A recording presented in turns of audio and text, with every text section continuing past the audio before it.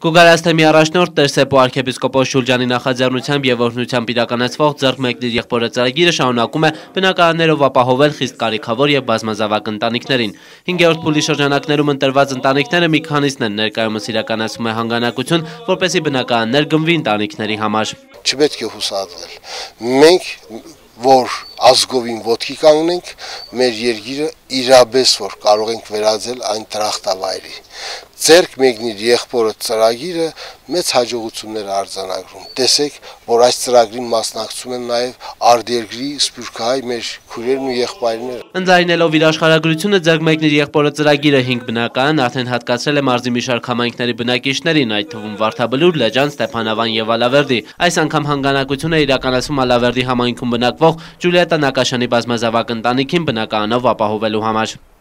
Մենք դիմեցինք Սրբազան հորը Գուգարաստեմի առաջնորդին Սեպու arczepiskopos Չուրջանին,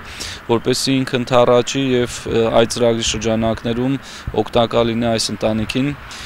Ընտանիքը բնակվում է Ալավերդու Բաղրամյան թաղամասում, վերջիններս ապրում են պետության կողմից տրվող 48 հազար դրամ նպաստով և երեխաներին տրվող 43 հազար դրամ հաշմանդամության թոշակով։ Ընտանիքի մայրը չի կարող աշխատել, պատճառը երեխաների խնամքն է, նրանցից երկուսն ունեն հաշմանդամություն, մեկը սայլակով հաճախում է դպրոց, մյուսն էլ ուսումը ստանում է տանը։ Ընտանիքն ապրում է Վարչով, վարչակալած բնակարանի համար վճարում են ամսական 7000 դրամ։ Փոքրիկների առողջական խնդիրների պատճառով չեմ կարող աշխատեմ ցավոք սրտի։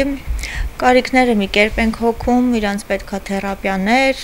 դե բնականաբար սնունդը, հագուստը, շատ մեծ դժվարությամբ առավել եւս որ ապրում ենք Վարչով բնակարանում։ Ջուլիետա Նակաշյանի ընտանիքը երկար ժամանակ է բնակվում այստեղ երկուսենյականոց բնակարանը ապահոված չէ կոմունալ պայմաններով եւ հարմար չէ հաշմանդամություն ունեցող երեխաների համար ձմեռն էլ օրինակ հիմա պլիտավ եմ տակացնում, ձմեռը մի կերպ փետ էի վառում բայց այս տարի դեռ փետի հարցն էլ չեն կարգավորել, չգիտենք ոնց ենք անելու դա։ Այս անգամ մտածում ենք, որ այն գումարը, որ պիտի ծախսվի եւ ընտանիքի համար բնակարան գնվի, մասնակից լինեն նաեւ ալավերցիները, ինչու՞ չէ նաև ամբողջ մարզը կամ հանրապետությունում։ Ձերք մեկնի եղբորը ծրագրի հերթական փուլով նախատեսվում է բնակարան գնել Նակաշան ընտանիքի համար, որի համար Գուգարաց թեմի առաջնորդը կոչ է անում համայն հայությանը եւ հատկապես ալավերցիներին համախմբվել եւ օգնել այս բազմազավակ ընտանիքին։ Վերջիններիս օգնել ցանկացողները կարող են դիմել Ալավերդու Սուրբ Գրիգոր Նարեկացի եկեղեցի կամ Զանգահարեն նշված հեռախոսահամարներով։